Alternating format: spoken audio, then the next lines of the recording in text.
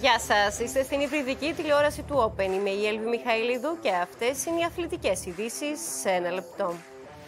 Με το αριστερό ξεκίνησε τις υποχρεώσεις τη στα προκριματικά του Euro 2024 η Κύπρος, που ιτήθηκε στην Σκωτία με 3-0 για την πρώτη αγωνιστική του πρώτου ομίλου.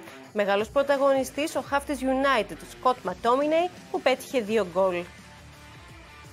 Η νέα εποχή της Ισπανίας ξεκίνησε θριαμβευτικά. Με τον Τελαφουέντε για πρώτη φορά στον πάγκο, η Φούρια Ρόχα φιλοδόρησε με τρία γκολ την Νορβηγία και μπήκε δυναμικά στα προκριματικά. Η πρεμιέρα της Κροατίας στα προκριματικά στράβωσε στις καθυστερήσεις του αγώνα που έγινε στο Σπλίτ με την Ουαλία να ισοφαρίζει με μπάζερ μπίτερ του Μπροχέτ. Δεύτερη αγωνιστική σήμερα και ξεχωρίζει το παιχνίδι της Αγγλίας με την Ουκρανία και αυτά της Μάλτας με την Ιταλία και του Λουξεμβούργου με την Πορτογαλία.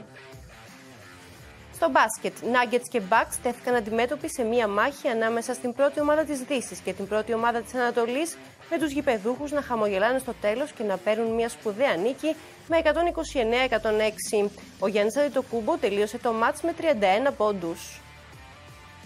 Στο βόλεϊ, ο Πάουκ με μήνυ ανατροπή έφυγε νικητής από την έδρα του Παναθηναϊκού με 3-2 σετ και βρίσκεται πλέον μία νίκη μακριά από την πρόκριση στους τελικούς της Βόλη League Ανδρών. Με το ένα πόδι στους τελικούς είναι και ο Ολυμπιακός που νίκησε στην έδρα του Μίλωνα με 3-1 σετ. Αυτή ήταν η αθλητική επικαιρότητα σε τίτλους μέχρι αυτήν την ώρα. Μία προσφορά της Betson. Ανανεώνουμε το ραντεβού μας για αύριο. Να έχετε μια όμορφη ημέρα.